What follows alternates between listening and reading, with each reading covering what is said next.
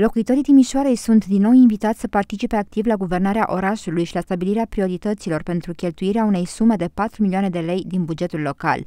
Prin depunerea de proiecte, contribuții la propunerile depuse de alte persoane, prin întrebări, sugestii, completări și vot, timișorenii au ocazia de a decide cum să fie investiți acești bani în beneficiul comunității. A treia ediție vine cu o serie de obiective specifice, inclusiv alocarea bugetului total în mod egal pentru cele 8 zone, cu scopul de a crește distribuția teritorială a proiectelor câștigătoare. De asemenea, se încurajează propunerile de proiecte care vizează creșterea coeziunii sociale și a calității vieții în cartiere, prin inițiative ce privesc spațiile verzi, locurile de joacă, spațiile comune, spațiile dedicate sportului și altele.